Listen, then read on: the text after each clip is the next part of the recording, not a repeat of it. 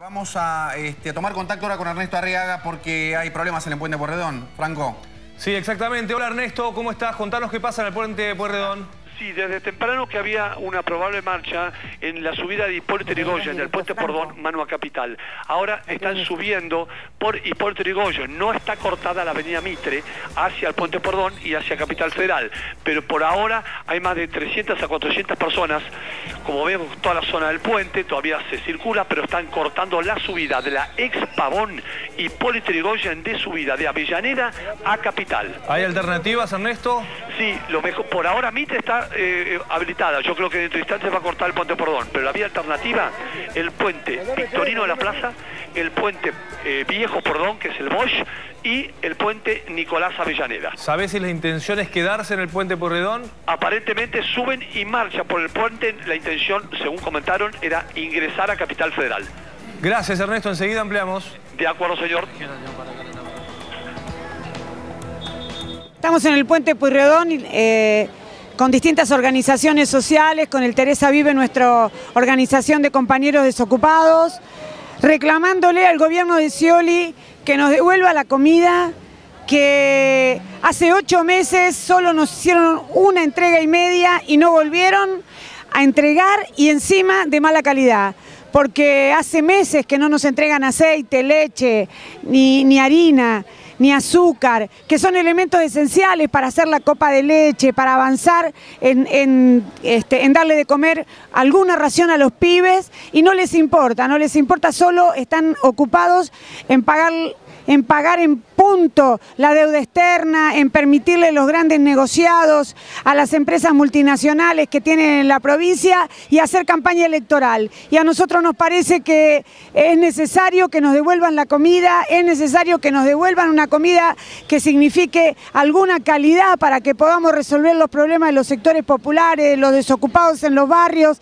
porque a eso hay que sumarle que la inflación se ha comido el valor de los planes sociales, la capacidad de los planes sociales y la única herramienta que nos queda son los comedores. Si además nos sacan la comida, significa que tienen la política de que desaparezcamos físicamente y no lo vamos a permitir. Por eso estamos acá y por eso, por eso estamos acá y nos vamos a quedar a pesar de que la policía, la gendarmería y los perros intenten hacernos retroceder. Volvemos al puente Pueyrredón, allí en intento de cortar el puente. Hay una gran cantidad de, de gendarmes en este lugar. Estamos viendo imágenes de los manifestantes que están reclamando aumento en los planes sociales. Vemos que la bandera dice Movimiento Sin Trabajo, MST. Eh, vimos también banderas de la CTA en el lugar y un gran desplazamiento de la Gendarmería Nacional. Están abajo del puente, Ernesto, el puente está totalmente cortado, contanos. Sí, justamente lo que decís vos, el puente, la subida y Puente Grosso está totalmente cortados, cortado. La intención de ellos es subir al puente Pordón, a lo mejor se queda un rato después pasar a, a Capital. Hola, nosotros hoy estamos acá este, reclamando por el ajuste de Scioli que va en contra de los desocupados, de nuestra gente, de los barrios, este, por el recorte de comida eh, que nos vienen aplicando ya hace seis o siete meses. Primero empezaron sacando algunos productos de las necesidades básicas que son el aceite, la harina, el azúcar, la leche que nos cortaron también.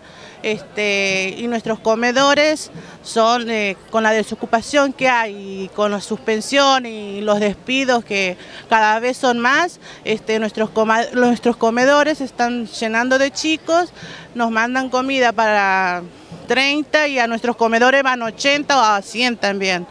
Este, entonces nosotros hoy venimos a pedir que se nos abran los canales este, que nos vienen negando este, y decirle y plantarnos y decirle a Scioli y al gobierno de Cristina, porque no está apartado de todo esto, que si sigue con, este, con esta maniobra nosotros vamos a seguir de pies y vamos a seguir plantándonos en la calle como lo sabemos hacer.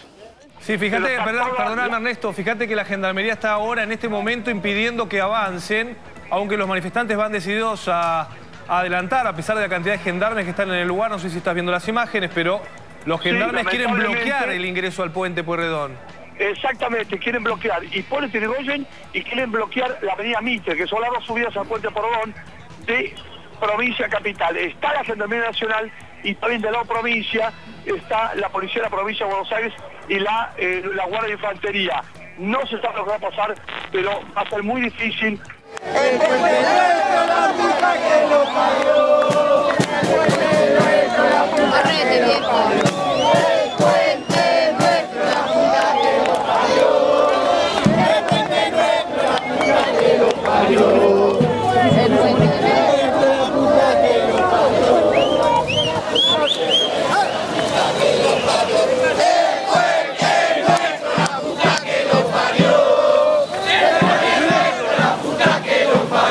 Estamos promediando las 3 y media de la tarde, el corte empezó a las 11 de la mañana, estamos sobre el puente Pueyrredón, haber subido es un triunfo, acá hubo un dispositivo de gendarmería, un ejército con perros, eh, con todo tipo de elementos para reprimir a gente que viene a pedir eh, por los comedores comunitarios, a pedir que el gobierno de Scioli nos devuelva lo que hace ocho meses decidió sacar después de 12 años, que es la asistencia a miles de comedores comunitarios que dan de comer a decenas, a cientos de miles de pibes, de, gente pobre en la provincia desde hace 12 años, que ha sido una conquista de la lucha.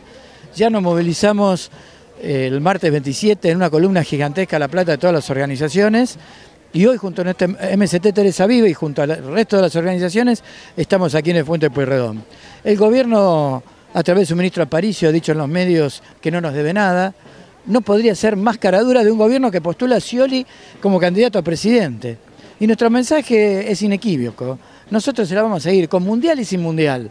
Y si Scioli quiere ser presidente del argentino, le va a tener que explicar en cada barrio donde hay un comedor popular a los pibes, a los compañeros que van a ir a ese barrio, a las mujeres que van a ir a ese barrio, decirle cómo corta la comida en el momento que la inflación es más del 50% en un año de la canasta familiar, que los precios del alimento están inalcanzables.